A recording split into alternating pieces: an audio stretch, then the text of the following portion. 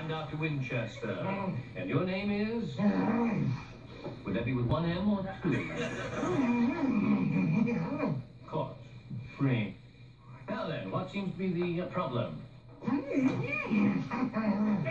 dear lad, don't be shy. The doctor is your friend.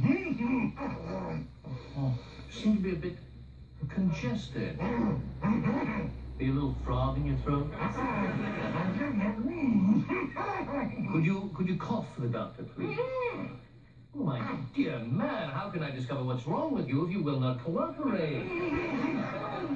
Oh, I see. You want me to take your temperature. I can do that. Sure. You realize you have something in your mouth? what on earth could that be? Oh, look here. Little six painted on it.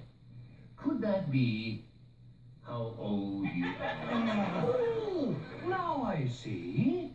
You may not realize this, but you have a pool ball lodged in your mouth. no sweat. There is an alternative. I'll just take your temperature the other way. Well, don't get mad at me, chum. I, I didn't have that silly pool ball in there. I could stick the thermometer in your mouth. well, I got a crazy idea. You know, this just, this just might work. What if I were to remove the ball? How would I do that? Let's see. What to do? I know. I shall pull all your teeth.